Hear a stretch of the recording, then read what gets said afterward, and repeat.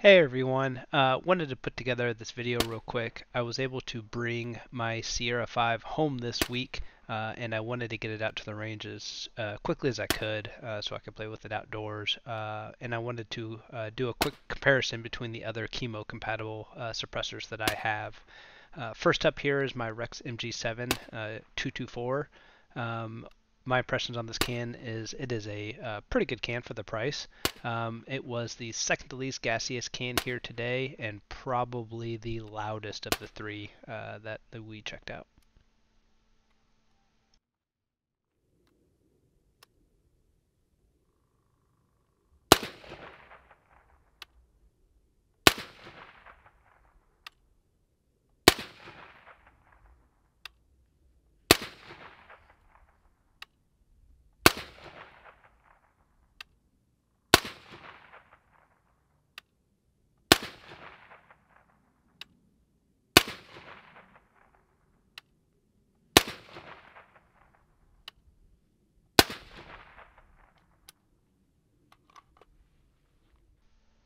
Next up, we have my uh, Dead Air Nomad 30 with an e-brake on it.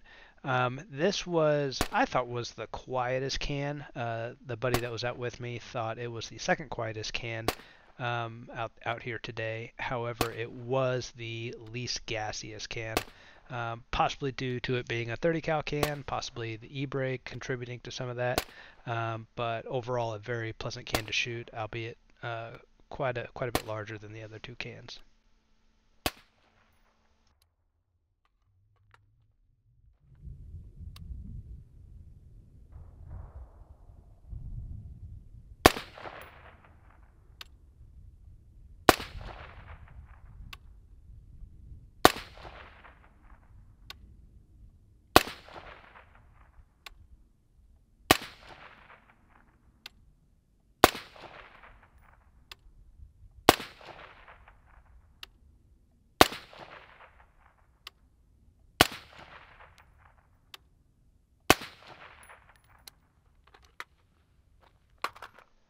And lastly, we have the new Sierra 5. Um, so far, initial impressions. Uh, this is a, a, pretty awesome can. Surprisingly quiet for its size.